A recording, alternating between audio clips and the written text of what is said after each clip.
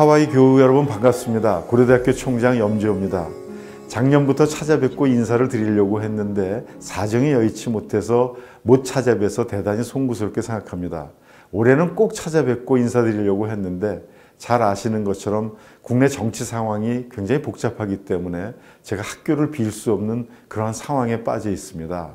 안타까움을 저희 가슴 깊이 가지고 있고 내년에는 꼭 다시 만나 뵙고 즐거운 시간을 갖도록 하겠습니다. 올해에는 고대에 좋은 소식이 많이 있었습니다. 대외적으로는 세계 대학 평가에서 국내 종합사립대학 최초로 100위 대학으로 진입을 하였습니다. 이 모든 것은 밖에서 항상 학교를 성원해 주시고 지지해 주시는 교우님 덕분이라고 생각합니다. 교내에서는 지속적인 대학 개혁과 함께 본격적으로 미래의 캠퍼스를 만들어 나가고 있습니다.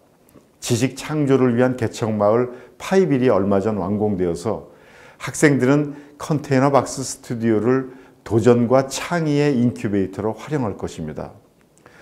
또 대학 최초로 강의실 없이 111개의 토론실과 111개의 carrel로 지어지는 SK 미래관이 착공하였습니다. 여기에서 창의와 몰입을 통해 새로운 지식을 창조하는 누구도 생각하지 못했던 21세기 새로운 패러다임의 대학 모델을 만들어 갈 것입니다. 이제 고대는 2020년 세계 50대 대학을 향한 비전을 가지고 달려나갈 것입니다. 세계 50대 대학의 꿈은 단지 순위가 아니라 문명사적 대격변기에 인류의 내일을 개척하겠다는 고려대학교의 굳은 다짐입니다.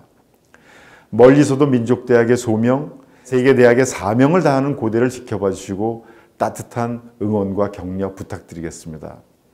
오늘 이렇게 사랑하는 고대 가족이 모여 2016년을 뒤돌아보고 우정과 축복을 나누는 교우의 밤을 축하드리며 여기 모이신 교우님과 가족분들의 건강과 건승을 기원하겠습니다. 남은 한 해 잘 마무리하시고 나중에 직접 뵐 때까지 건강히 안녕히 계십시오. 감사합니다.